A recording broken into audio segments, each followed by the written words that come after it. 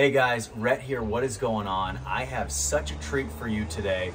A lot of people ask me, they say, Rhett, do you just do single families or do your clients also do multifamily and large multifamily and multifamily portfolios? The answer to that is yes.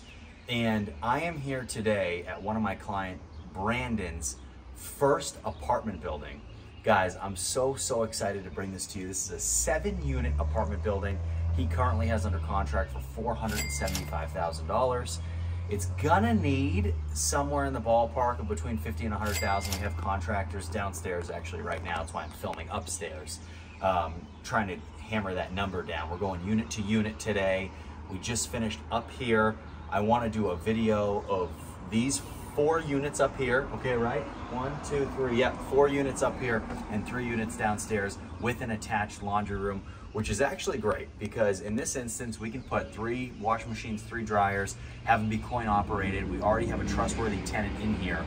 Of the seven units here, six of them are vacant, which is amazing.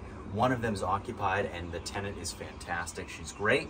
Uh, the reason she's here is because she's great. So uh, my client, Brandon, he's acquiring this. This is gonna be his, we add these seven doors he's going to be at 15 properties, 15 doors total. Okay, this this uh, apartment building, when we're done with it, will be worth um, probably somewhere close to 750,000, if not uh, even a little closer to 800K. Um, so what I want to do is I want to walk you through the units, talk a little bit about um, what they uh, need and what we're thinking about them. I think um, for all these units, guys, all these are two bedroom units. So they're all going to rent from between 750 and 950. I know that's a large discrepancy. The reason for that is the square footage on these is gonna be smaller. So a single family home, we can rent for 900 to 975, but because these apartment buildings are and, and, and, units are a little bit smaller, the square footage is smaller, we get the two bedroom price, but we get the bottom end of it, okay? Let's go through them. We'll go one by one. We're just gonna do the top units up here. I wanna show you just how drastic they can be, how different they can be, the challenges that uh, come along with acquiring small to medium sized multifamily like this, and also the benefits, okay? So guys, let's come on in. So the original owner of this, there's no continuity among units, and that's something that I would like to establish, meaning everything's different. So in some of the rooms we have, uh, our, our, units, we have LVP. In some of the units we have carpet. In some of the units we have this kind of, of, of refrigerator. Some kind of units we have this color paint. I want to keep it uniform. That way we can buy in bulk supplies, leave them in the supply room off the laundry room here. And that way when we send our maintenance crews out, they can come in here when we turn a unit over, we can just, we have everything on site we need. It saves my client time and it saves them money, okay? So guys, in here, really, really good shape. LVP in here was actually done very well. This unit uh, is gonna need paint on the walls. It doesn't look like it maybe from the video, but you know, it's beat up. It's gonna need some turnover paint. Nothing crazy, uh, just some touch-ups throughout the whole unit. We're gonna have to make sure that the appropriate window locks are on all the windows because they're not. So some of these windows just won't lock, which is an issue. Actually, there's a, a, a, a, uh, stationary lock there, but that won't pass section eight. You can't do that. You need a, a lock right here. Um, so we have to do a bunch of section eight stuff to get these units ready. This unit overall is in really good shape. It just needs some small touch-up items. Um, otherwise, tile in here, that is something that is not fully uniform throughout the entire place, but most units do have tile. Most have cracked tile. This is the only one without cracked tile, so we won't have to do anything in here. And then in these rooms, guys, we have LVP in the backs here as well. Okay, good shape. Don't need to do anything here uh, except put some locks on these windows that are Section 8 approved. We need a, um, we have closet door here, probably replace that, put a better one on there. Um, it has newer light fixtures. The bathroom is in good shape in here, okay? So bathroom's nice. The bathroom is doesn't need too much work done either.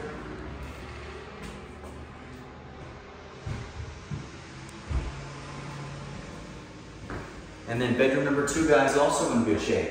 So this was uh, one of the first units that I walked in. I said, oh my goodness. Unfortunately, you know, my excitement is always curtailed when I walk into a unit that looks nice because the units downstairs are in horrific shape. But let's keep going on this row and uh, we'll continue to see what else this complex has to offer, okay?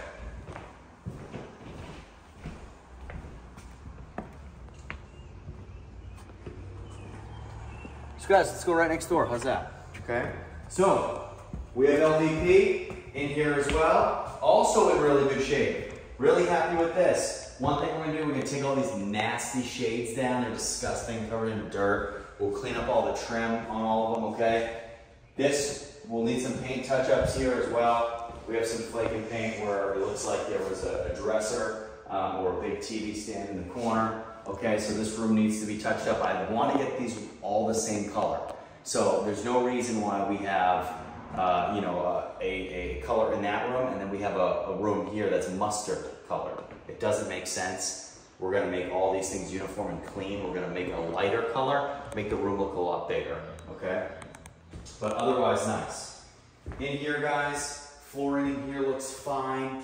Um, we're gonna take this uh, stove out of here, get rid of this. Most likely get rid of that refrigerator as well because it's nasty. Clean this whole countertop off. I, I think that we'll be able to salvage this when we clean it. If not, we'll put a new countertop on, no problem. Um, otherwise, all of the cabinetry, guys, keep in mind, it's outdated, right? It's definitely outdated, but it doesn't make sense to just tear this stuff down. It's good storage. People enjoy this stuff. When you have small units like this, it's not always the best thing to take this wall down here. This is also, uh, we, we could take this wall down. Uh, I don't want to. It's nice. I mean, we could, in theory, remove all this stuff, right? But then people like this. It's, it, it, believe it or not, it creates more room for storage and more room to put things. When you have a small kitchen like this, I get a lot of positive feedback on stuff like this, believe it or not, even though it's outdated, okay? So let's go into the, uh, into the rear bedrooms, guys. So rear bedrooms here, um, they have carpet. We have a couple options and I'll talk to Brandon about what he wants to do. We can rip the carpets up, put LVP down, or we can just put new carpets down. Uh, totally up to him. Now, if we were doing a normal apartment building that was non-Section 8, I would say a thousand percent, let's put down LVP.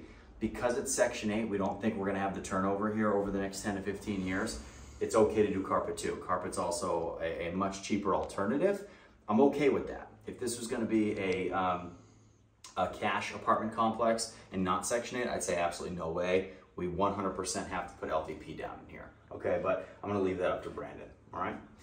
So guys, we'll put a new interior door in here as well. It's a piece of crap.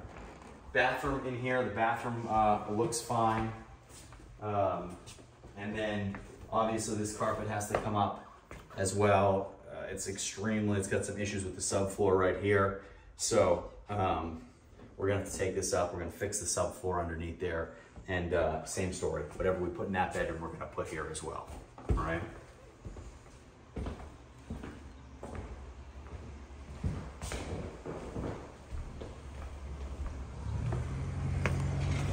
All right, guys, moving on. As you can see, everything in the parking lot's empty. There's nobody here.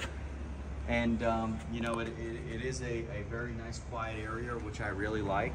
Um, so, all good. I, I, like a lot of this area. It's a quiet area. It's gonna be a great place where a lot of tenants are gonna wanna live. All right, now, whew, take a deep breath out here before I go in there. As you know, it's looked pretty good so far, right? And that rehab number so far, when you're talking about what the rehab cost is gonna be to get these ready, is pretty low, right? It's nice and small until you walk into this. Now, this unit right here is what virtually all the units downstairs look like, okay? Come on in. So guys, I would turn the lights on in here, but there aren't any. Oh my God. Disgusting. Um, so gross, right? I mean, holes in the walls, cigarettes, burns on the floors, nasty, disgusting. Someone was doing something, beating something up right there. Uh, there's a crack pipe on the floor. Don't get too close to it. It's a crack pipe over there in the corner. Um, if anybody wants a toothbrush, drop your name and your address in the description. I'm gonna take it with us and I'll send it to you, okay? It'll be 99 cents for that toothbrush. All right, I'll cut you guys a deal. So I can't turn anything on in here, but we need all new flooring in the kitchen. Uh, someone has ripped up all of the, um, all of uh, everything in here. So someone's ripped up all the tile, okay? New refrigerators needed, new stoves needed, um, new vent hood is needed here. We gotta clean up these cabinets. We're gonna take all this junk down. We need all new light fixtures throughout the whole house. Whole house needs to be painted. I absolutely despise this yellow wall color. Part of what makes this house look so outdated, guys, is really the kitchen and the colors and the doors. If we swap the doors out and you know, we can even paint these cabinets white, it changes the dynamic of everything. But we're gonna change the color of this unit to make it a lot more um, clean and new and fresh, all right? Now, um, yeah, this, I mean, every, guys, even the tile that is down, they're all cracked and when you, it's sticky and disgusting.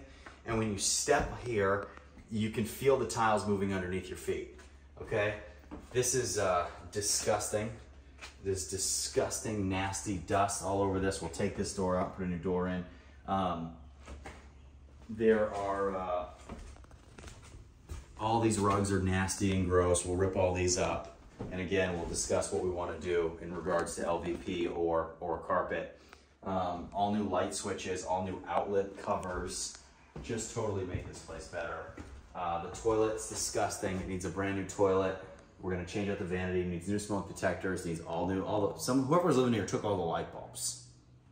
So, guys, I'm not even gonna go in here. Look at this door. Oh my goodness, this door is gnarly. Look at that. I'm not gonna go in here because the the uh, the flooring's ripped up, and I don't know. Someone could have could have uh, had their last moments on the floor, which is maybe why it was ripped up. But this is the original subfloor. So what we'll do is we'll put whatever we want to put down. There's carpet in here too. You can see the uh, the nail strips around the, ex, the exterior of, of the um, of the area. So this whole room, of course, painted with everything else. New door here. Um, all new flooring in here as well. The smell is horrific in here. This is a nasty unit. Okay. Whew. So guys, that uh, unit, everything needs to be done, which is kind of the, um, the interesting part about when you do apartment buildings like this. You can have units like next door that are beautiful and almost turnkey, and then you have units like this, which are a complete disaster, and we need to do absolutely everything in. Now, continuing with that nice trend, we're gonna go back to the nice part of this.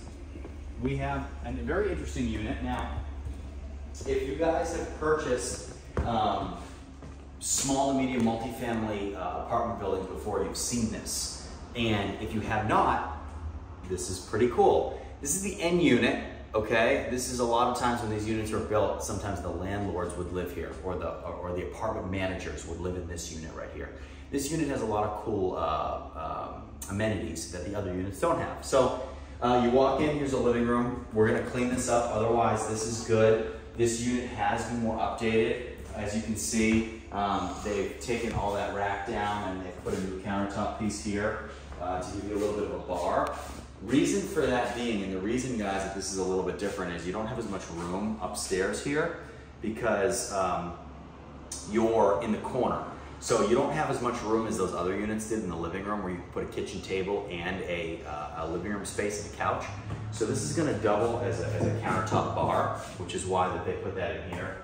Now, of course, the cabinets are still outdated. We don't plan on changing these, but we'll put a new light fixture in, put a new sink in here, clean up the countertops. The countertops are newer, um, and there's junk flying all around here.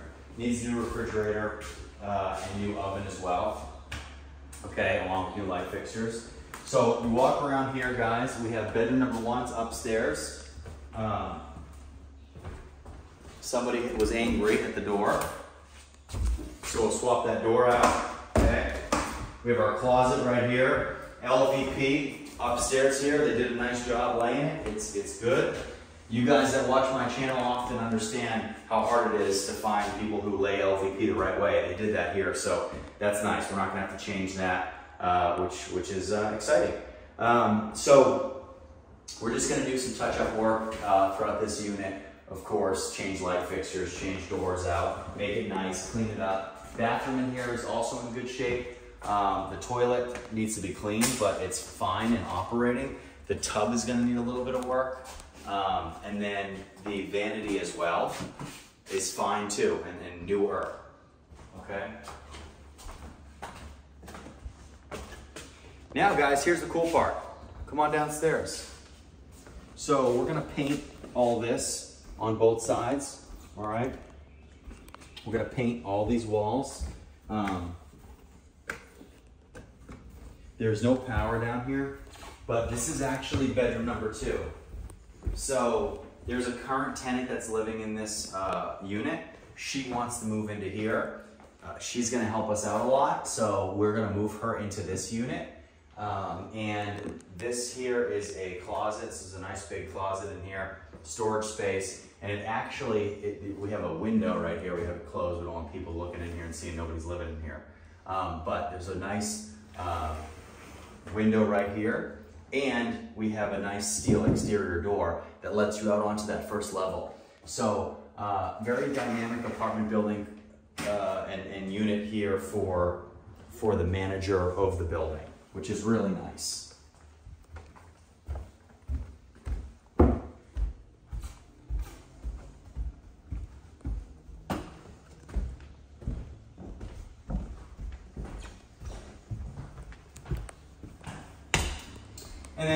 Throughout it, you know, we just have little things. We got broken glass. A lot of the units have broken glass. Um, no window locks, no way to lock this window. Busted screens. I mean, just, just a lot of stuff that ends up adding up. Um, and then it's downstairs. So we have four units up here with this end unit being how it is. Underneath us directly is the laundry room. Now, the laundry room is based off the front of this unit, okay? As you saw, we went off the back of the unit.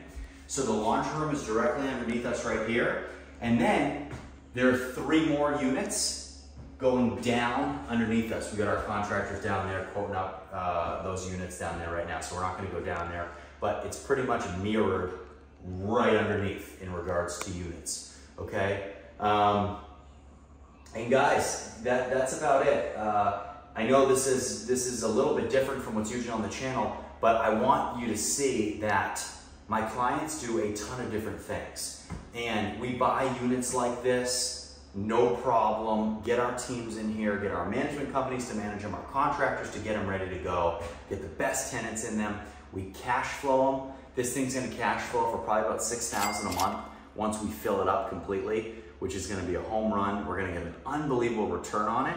And then my client Brandon's probably gonna sit on it for a couple years and then we'll sell it down the line for close to a million bucks. So pretty good guys, pretty good. Uh, please, if you have any questions, comments, leave them below. If you guys want to buy stuff like this, you want to use me and my team to help you onboard stuff like this from out of state without ever seeing it, send me an email in the description below. We'll get you started. See you next time.